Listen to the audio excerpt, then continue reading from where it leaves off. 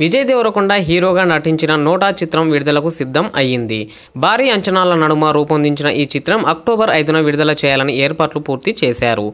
ఇప్పటికే ఈ చిత్రం సెన్సార్ కార్యక్రమాలు కూడా పూర్తి చేసుకుంది. తమిళంలో ఈ చిత్రంతో విజయ్ దేవరకొండ ఎంట్రీ ఇవ్వబోతున్నాడు. భారీ అంచనాలున్న ఈ సినిమా కోసం విజయ్ దేవరకొండ స్వయంగా తమిళంలో డబ్బింగ్ చెప్పాడు. తమిళం రాకున్నా కూడా నేర్చుకుని మరీ డబ్బింగ్ చెప్పినట్లుగా పేర్కొన్నాడు. తాజాగా ఒక ఇంటర్వ్యూలో విజయ్ దేవరకొండ మాట్లాడుతూ తెలుగులో డబ్బింగ్ను కేవలం కొన్ని నిమిషాల్లో పూర్తి చేసే నేను తమిళంలో డబ్బింగ్ కోసం మాత్రం ఏకంగా మూడు రోజులు పట్టిందన్నాడు. నోటా చిత్రంలో కొన్ని డైలాగ్ తమిళంలో చెప్పేందుకు చాలా ఇబ్బంది పడ్డానన్నాడు. డబ్బింగ్ సమయంలో అసలు ఈ సినిమా ఎందుకు చేశానరా బాబోయ్ అనుకున్నాను అని అంటూ విజయ్ దేవరకొండ చెప్పుకొచ్చాడు.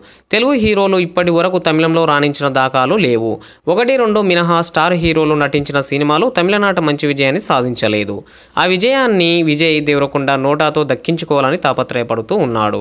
అందుకే సొంతంగా డబ్బింగ్ చెప్పుకోవడంతో పాటు సినిమా కోసం చాలా కష్టపడ్డాడు.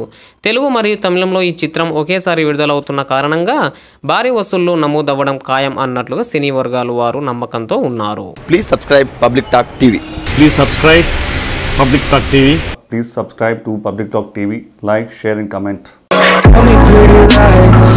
me in the face. Tell me that you even if it's fake.